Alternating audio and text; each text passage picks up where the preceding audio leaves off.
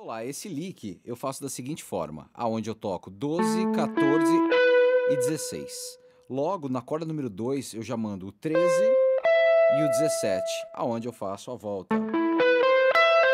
Né? Do 17 já volto pro 13. A palhetada eu faço baixo, baixo, baixo, baixo, mando mais uma para baixo, aonde eu faço pull off e venho aqui na 16, cima, cima, cima? O 16, 14 e 12. Então a ideia seria